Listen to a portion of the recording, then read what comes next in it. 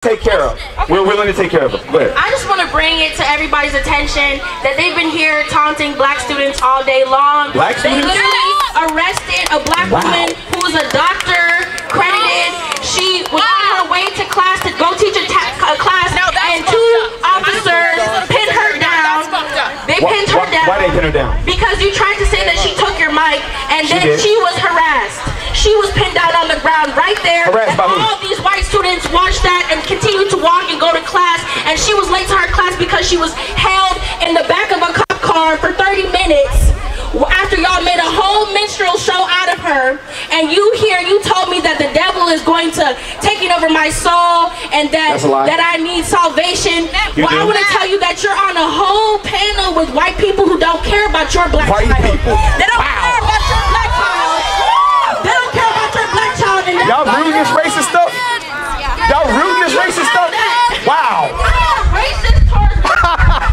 so funny. knowledge that racism, the racism that exists in this